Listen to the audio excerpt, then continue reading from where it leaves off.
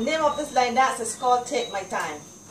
It's a 32 count, 4 wall, improvers line dance. Section 1 starts on the right foot. Shuffle forward on the right for 1 and 2. Rock forward on your left for 3. Recover on the right for 4. Shuffle back on the left for 5 and 6. Rock back on the right for 7. Recover on your left for 8. Section 2.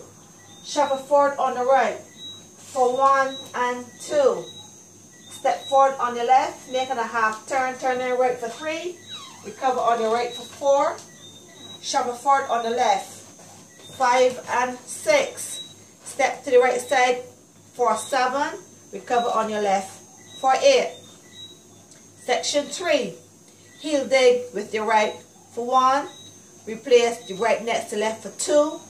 Heel dig for 3. Replace left next to right for 4. Heel dig on the right for 5. Hook for 6. Heel dig for 7.